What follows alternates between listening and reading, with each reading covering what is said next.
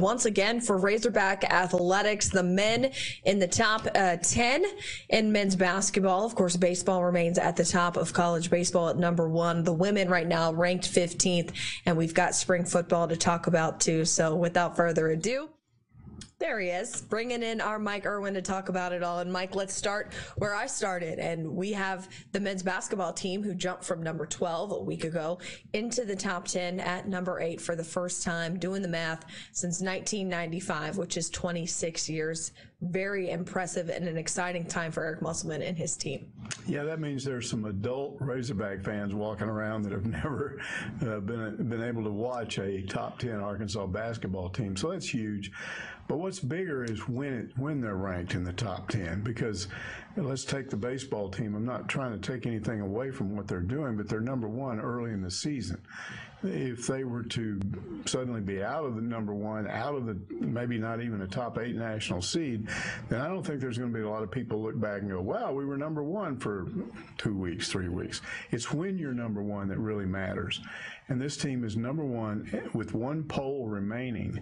So the only thing that will affect their ranking from here on out just the ranking part of it will be mm-hmm. how they do in the SEC tournament. So they could drop, they could go up or whatever. But this is really heady stuff. It's good for the fans, but it's huge for recruiting. Mm-hmm. Uh, because Eric Musselman now he can go after the very best and say, look, we're top ten team, and I, mm-hmm. we've done this in just two years. That's the other part of it that ah, blows yeah. my mind. I thought it was a three, four year rebuild. Uh, how many times did we hear we need more time when Mike Anderson was here? Well, I've always felt like you don't need more time if you if you've got the right situation. And mm-hmm. Coach Muss has really surprised everybody this year. Yeah. Remember, if you got any questions for us, uh, hit it up. We're also over on Facebook Live. Hit us up with a comment and a question. We'll try to answer it. Uh, but Mike, you talk about this team year two under Eric Musselman, and, and it, there was a time, not even like before Eric Musselman started year two. I mean, that lost Alabama and LSU back to back over 30 point deficits. Uh, we had no idea what this team was going to do. You know, they didn't have Justin Smith, and then all of a sudden they turned things around and have, and have won 11 straight SEC uh, games. You've got Moses Moody, who could easily be not only freshman of the year but player of the year. Those awards for the SEC, by the way, come out tomorrow. What do you think? Do you think Moses Moody has a chance to be player of the year in the SEC? I think he'll be freshman of the year. I'd be surprised if he was player of the year, but who knows? I mean, I'm not voting, so it doesn't matter yeah. to me. You know, it's not. I'm. It's not like I'm going to decide something here, but um, I would be a little bit surprised. Yes. Yeah, I, it'll be interesting. You know, you could give it to John Petty over at Alabama as well. Um, there, there's a lot of guys who could deserve it, but yeah, I think Moses Moody has an argument for himself. At least he was the SEC Co-Player of the Week again this week for the third time, um, freshman. So. Uh, definitely an upside to the way that Moses Moody has played this year. The SEC tournament is coming up. We've got a question here from Yancey Long. He wants to know if Jay uh, Jaylin Williams is going to be back for the tournament, and that's an answer we're hoping to get from Eric Musselman tomorrow. Yeah, we don't know for sure. Um, we only know what we're told was that it was a COVID situation, and generally there's a 10 day quarantine so he should be available. Mm-hmm. Uh, the question is, how much did he lose sitting out that much? Yeah. He's coming back in at a time when you have to be playing at an elite level. So we'll see what happens, but should should would be good to get him back. Yeah, SEC tournament for the Razorbacks starts on Friday. They are the two seed. They're going to play the winner of Georgia and Missouri. If you're Arkansas, I think you'd rather play Georgia than Missouri at this point in time. Yes, but you don't know. what if Georgia upsets Missouri and then they come in and they're just something you haven't? I mean, I never thought A and M would play Arkansas down to the wire the way they did. You just can't predict these things. So, yes, you sort of say, okay, we hope it's Georgia, but you never know. Uh-huh. Yeah. Another question that we've gotten uh, is an update on, on injury rehab with KK Robinson. And that, and that's a guy that we haven't talked a lot about, obviously, since he had his surgery and they don't update us on stuff like that. No. Um, and so unfortunately we don't, we don't know with stuff like that. We don't know what, what KK status is. Well, we see they they put tweet out videos of him in his rehab, and it, by all accounts, it's going fine. He was not going to play this year, so mm-hmm it's not really an issue right now. It would be more of an issue next summer, mm-hmm. but I think he's going to be fine. What do you see as Arkansas seed in the NCAA tournament? What are you guesstimating? Well, right now they're set for a three seed. So if they were to win the SEC tournament, knock Alabama out of the SEC tournament, win the championship, I think they would flip. Because right now Alabama is like a really strong two seed, right on the edge of being a one seed. And so depending on how what other one seeds, projected one seeds do in their conference tournaments, if Arkansas were to win the SEC, they definitely, I think, switch for uh, switch with with Alabama, and they would be the two, and Alabama would become the three. But they might possibly, possibly sneak in right at the edge of number one. We'll see. Yeah, absolutely. I'm reading uh, these comments over here and, and, and keep them coming. And again, if you have any more questions, we'll try to answer them over on our Facebook Live page. Um, you know, you mentioned baseball. They're still number one. The women right now, even though they lost in that first game of the SEC tournament, they're 15th heading into the NCAA tournament. Their selection show is next week after the men play. Um, but let's talk about spring football, Mike. I know a lot of people, it seems like football was kind of always in the back of our mind. Now it's jumped into the forefront again. It's the first spring practice under Sam Pittman, and I know he's very excited as he starts here in year two. Well, last fall, we finally got a stable situation at quarterback, and now all of a sudden we turn around again and the job is open. Uh, you know, we're not sure exactly. You can't. We can't sit here and pre- predict exactly what's going to happen. I think we we we all figure we know who's going to be the starting quarterback, but it's something to keep an eye on. And regardless, what I tend to think, and I've said this for a while, is they're going to adjust their offense a little bit probably throw it just a little bit less, run it more, try to run it more. I think they're really trying to upgrade the offensive line, make some changes that are going to make them a lot better in the fall and be able to run the ball more consistently. And then it will take some of the pressure off of uh, KJ Jefferson, where he doesn't have to be a Felipe Franks. He just can perform like he did in the Missouri game, and then you got a running game to back you up, and maybe everything will be all right. But there's so many other factors. I mean, does the defense improve?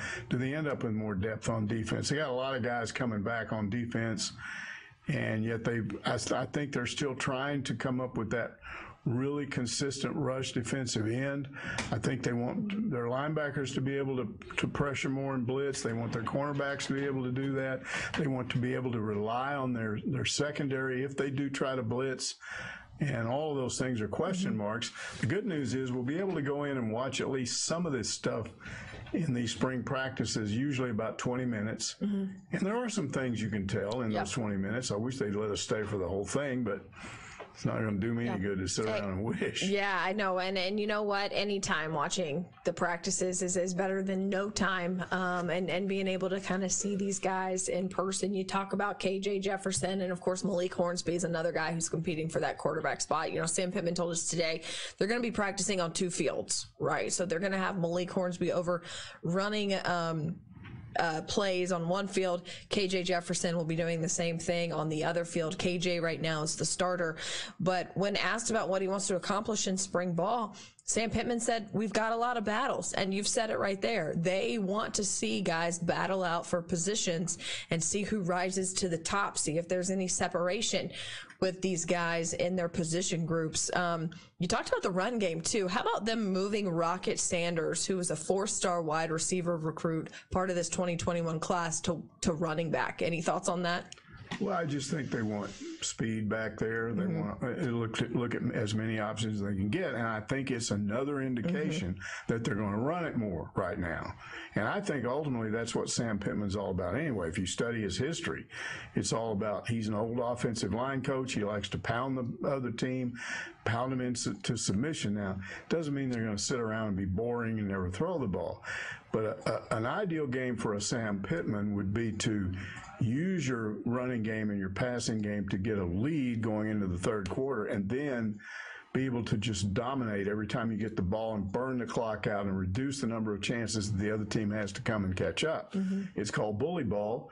Uh, Bret Bielema tried to do it, and he did it pretty good when when Sam Pittman was the offensive line coach. He didn't do it at all when Pittman left.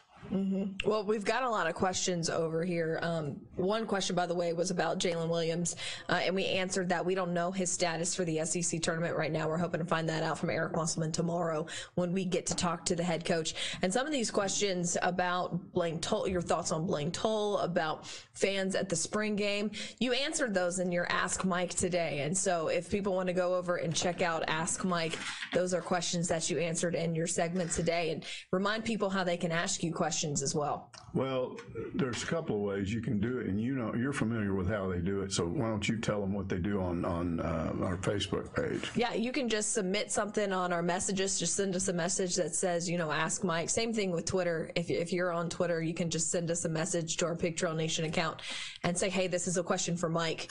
Um, then you also go to Hogville as Yeah, well, the too. way to do it is to go sign up on Hogville. Now you go to hogville.net. Mm-hmm. Then you need to get a username, and there's a process. You just submit a username. Yeah. It can be Billy Bob Hogman or whatever. and then once your name is accepted and they send you a note that says you can put that into your log on, then you have a log on and a password. And every time you want to go to Hogville, you log on and use your password and you're on there. Now, once you do that, there's a lot of things you can do. You can go to their forums. Uh, their various forums are as good as I've seen. I look at a lot of social media. I would much rather, I'm telling you, read a message board, Arkansas's number one message board, than to go on to Facebook. Mm-hmm. You eliminate a lot of the nutty comments because these are your really committed fans. Educated fans know what they're talking about, and you can be a part of all that. Mm-hmm. And just be in the various forums. The the baseball forum, which is called Extra Innings, is the very best because those people really know their stuff. There's not a lot of crazy arguments or stupid statements made. They're just discussing really good topics about Razorback baseball. Basketball mm-hmm. forum's pretty good. Football gets a little crazy, but again, it's What not as football forum doesn't get crazy? that's right, but it's not as bad as just straight up Facebook, and probably a little better than Twitter. Yeah. Uh, so you you can do all of that, but you if you want to post your questions, there's an Ask Mike forum. You go into that forum and you'll see right off the top questions for whatever date we're talking about, which would be the next Monday uh, uh, Yeah. from where you are.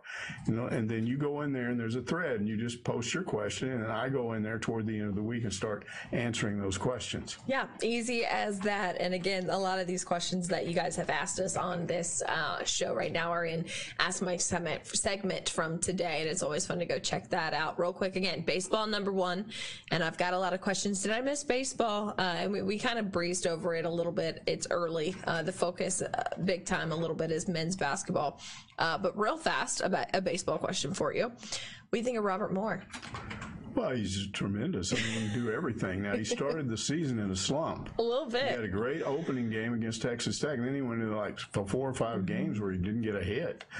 And he's raised his batting average from like 140 to 275. He's leading the team now.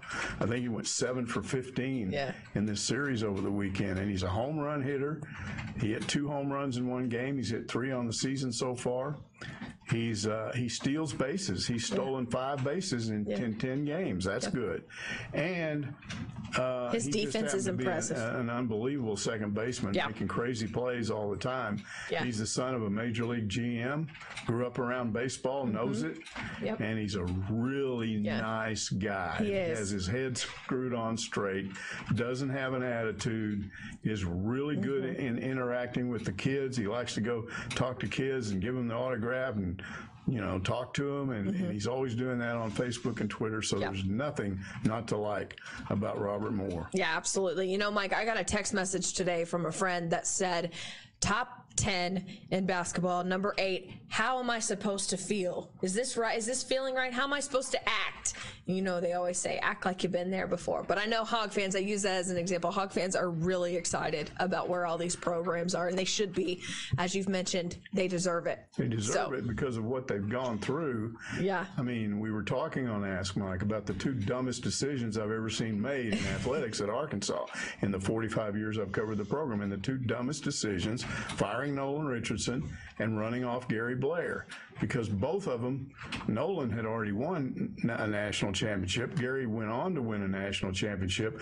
And what happened to women's basketball and men's basketball paralleled that they were mm-hmm. up there near the top, went into the pit, and we're just now coming back. That's what dumb decisions can do for you. And these weren't athletic director decisions, they were made above that level. Yeah. Shout out to Hunter Yurachek and, and this program and, and what Arkansas is doing. All right. Thanks so much for joining us. Again, as he mentioned, go and check out Ask Mike if you have any more questions you want answered. And uh, we're looking forward to another big weekend on the Hill. And we'll be back to talk about it throughout the week as, as we get closer to game days for all of these teams later on down the stretch. So thanks so much for joining us and have a great rest of your Monday.